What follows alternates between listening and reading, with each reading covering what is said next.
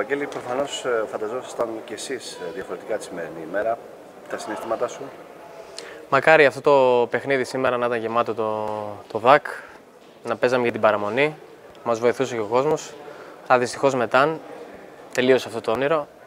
Τι να ευχηθώ, να ευχηθώ υγεία σε όλο τον κόσμο, καλό καλοκαίρι και εύχομαι η Κοζάνη να ξαναβάλει στόχο την επόμενη χρονιά, να, να ανέβει κατηγορία γιατί της αξίζει να είναι στη, σε επαγγελματικές κατηγορίες. Δυστυχώς δεν τα καταφέραμε, έχουμε όλοι μέρη ευθύνης. Ζητάμε συγγνώμη και από τον κόσμο, και εμείς προσπαθήσαμε, αλλά δυστυχώς δεν τα καταφέραμε. Ε, Πώς το ζήσατε από την πρώτη μέχρι και την τελευταία ημέρα εδώ πέρα στην ε, Κοζάνη; Παίζεις χρόνια μπάλα. Ε, αν μπορείς μέσα σε ένα λεπτό να μας ε, πεις ε, πώς θα πέρασε και γενικότερα εδώ στην ε, Κοζάνη; Ε, Ευτυχώς εδώ βρήκαμε την κατάσταση πολύ επαγγελματική σε όλο, όλο το team. Ε, δούλευε καθημερινά ε, σκληρά. Δυστυχώς στο ποδόσφαιρο πρέπει να βάζεις σε, σε σένα, αλλά κάποιες φορές γίνονται και άλλα πράγματα εξωαγωνιστικά.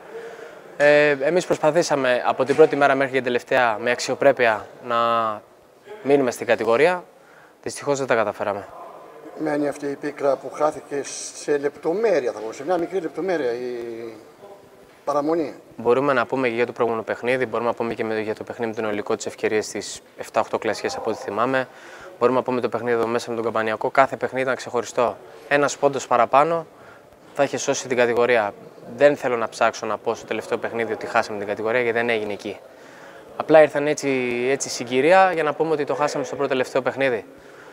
Εντάξει, όπως είπαμε, ταν, δεν μπορούμε να, να προχωρήσουμε στη ζωή και να λέμε αν και αν. Δυστυχώς.